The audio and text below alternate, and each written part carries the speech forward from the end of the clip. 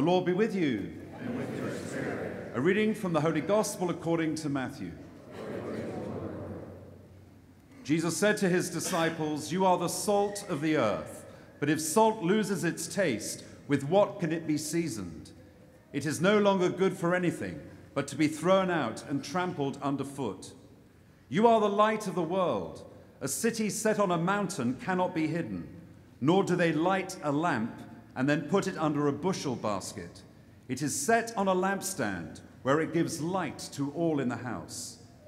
Just so, your light must shine before others, that they may see your good deeds and glorify your heavenly Father. The Gospel of the Lord.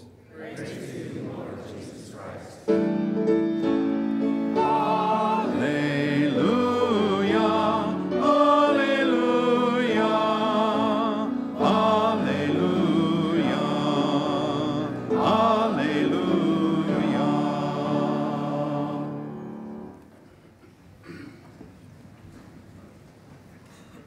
So, the most important spiritual question of the day is will it be the Patriots or the Falcons? You can pray about it. On Thursday, February the 2nd, we celebrated the feast of the presentation of Jesus in the temple by Mary and Joseph, 40 days after his birth. And within that temple were two very holy people, Simeon and Anna, praising God night and day. And Simeon boldly proclaims that now he can die in peace because he had encountered the gift of salvation, the light of the nations, in the person of Christ Jesus. Last Thursday was also Grandparents' Day during Catholic Schools Week, and it was a joy to welcome over 200 grandparents to our school mass. As it was Candlemas Day, the feast of the presentation focuses on Jesus as the light of the world and is therefore a day when we bless a selection of the candles that are used in the church throughout the year, I focused on the words that are proclaimed when we receive our baptismal candles. Receive the light of Christ. This light is entrusted to you to be kept burning brightly, because this son and daughter of yours has been enlightened by Christ. May they always walk as children of the light. Today's gospel affirms who we are. We are the salt of the earth we are the light of the world. Words flowing from the lips of Jesus as we continue to focus and reflect upon the Sermon on the Mount, which began, if you remember, last Sunday with the Beatitudes. What Jesus is basically saying is that if we live the Beatitudes, we will flavor this world with God's presence and we will cast off the darkness with his light, with the truth of the gospel. And we know that as Christians, as disciples, we are all called to make a difference in this world. We're all called to change this world, and if necessary, to turn it inside out and upside down with the presence of Christ and the values, the truth of God's kingdom. The prophet Isaiah very clearly lays out God's vision for God's people. Share your bread with the hungry, shelter the oppressed and the homeless, clothe the naked when you see them and do not turn your back on your own. If you remove from your midst oppression, false accusation, and malicious speech, if you bestow your bread on the hungry and satisfy the afflicted, then light shall rise for you in the darkness, and the gloom shall become for you like midday. This vision would have actually fed the heart and the faith of Jesus Christ as he began his ministry, as he began his mission. And we know that if this is Christ's vision and mission, it must also be ours. And I doubt if there is any single person in this church this morning who does not believe this to be so. Living this mission and vision, being salt and light, are the Franciscans in Syria. And Franciscan Father Luke Gregory writes this We stayed a night in our friary in Damascus it was with great satisfaction that we saw how our friars are taking care of the local people, Christians and Muslims alike. Father Raimondo, one of our friars, with a religious sister, Sister Yola, has set up a home to receive cancer patients from all over Syria who need treatment in the hospitals in Damascus. They have also opened a creche for children. It was very edifying to see these works of mercy. Then we drove to Aleppo, so much destruction, whole suburbs and neighborhoods completely wiped out, spent missiles littering the streets, only a few hours of water and electricity each day. Yet despite all this, there is a sense of hope. The friars and sisters remained faithful to their missions during the bombings. The Catholic hospitals remained open, serving the many wounded. The friars continue to distribute food, water, and medicines to the people.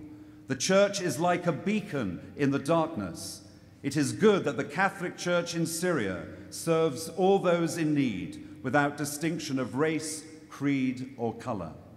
Just so, says Jesus, your light must shine before others, so that they may see your good deeds and glorify your heavenly Father.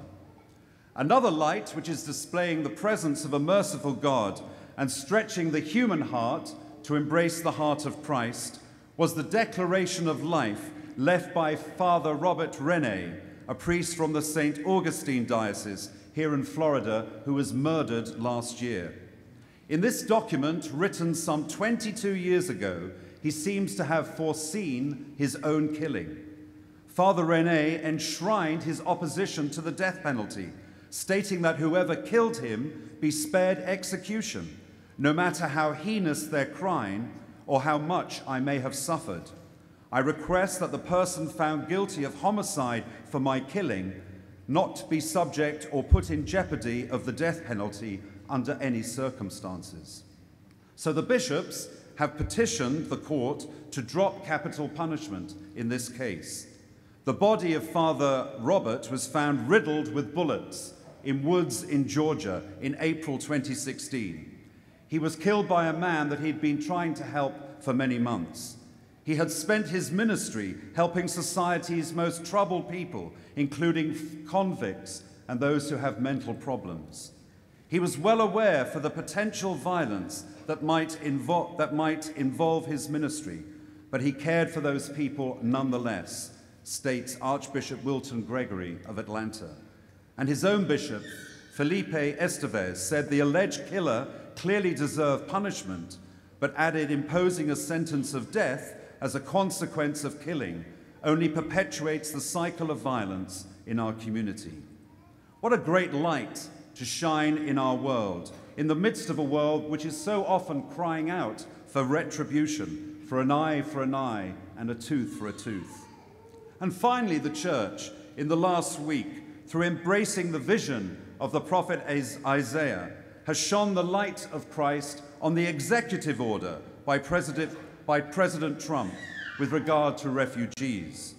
It is a primary duty of every leader in every nation to safeguard its citizens.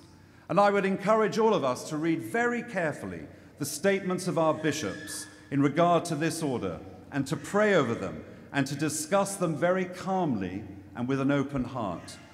Christ will always stretch our minds and our hearts, sometimes beyond what we may seem to be reasonable. There is no such thing as a comfortable Christian. And so I would refer you to what our own bishop, Gregory Parkes, together with Cardinals Dolan of New York and Cupich of Chicago, to, to what they have written and what they have published. Cardinal Cupich recognizes that there was already a lengthy and thorough vetting process before refugees were admitted to the United States, and that we must not forget who and what these people are actually fleeing from. And he writes, the world is watching as we abandon our commitments to American values. These actions give aid and comfort to those who would destroy our way of life. They lower our estimation in the eyes of many peoples who want to know America as a defender of human rights and religious liberty. It is time to put aside fear and join together to recover who we are and what we represent in a world badly in need of hope and solidarity. So I've shared with you this morning three very different scenarios, but each of them display the kind of people Christ calls us to be if we are to flavor this world with his presence and enlighten it with his truth. As I stated in my homily last week, the Sermon on the Mount gives us our identity as disciples. It dispels complacency and stretches our human hearts to love as Christ loves us. Amen.